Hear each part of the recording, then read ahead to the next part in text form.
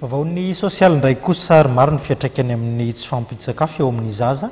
Raha ny misy eto Madagasikara anefa dia saika ny atsasa-manilan'ny zaza latsaky ny dimy taona no iharan'izay tsy fanjarian-tsakafo izay, raha ny tatitra izay noentin'ny ofisim-pirenena misahana ny tsy fanjarian-tsakafo, ONN, no ahafantaran'ny besinimaro azy.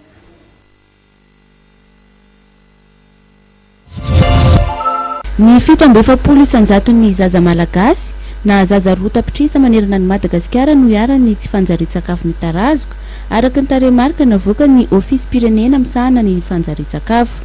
Ary ny eto afovoan-tany no tena maro an'isa satria ny enimpolo isan-jaton'ny zaza eto afovoan-tany no tratran'izany. Tonga naseho teto fa mila arindra ny asa ary hifantoka any amin'ny Arrivant voalohany zaza ny asa rehetra atao ao anatin'izay adiny tsy fanjarian-tsakafo izay. Ao anatin'izay fandrindrana izay dia mbola misy fanatsarana tokony atao ihany koa. Efa misy ny ezaka atao amin'ny fampihenana tsikelikely izany taha izany fa mila fehezina manomboka eo amin'ny fahasalamana, ny fahadiovana, ny fiahiana ara-tsosialy, ny fahampian'ny sakafo ary ny fanazavana ny fampianarana amin'ireo olona rehetra.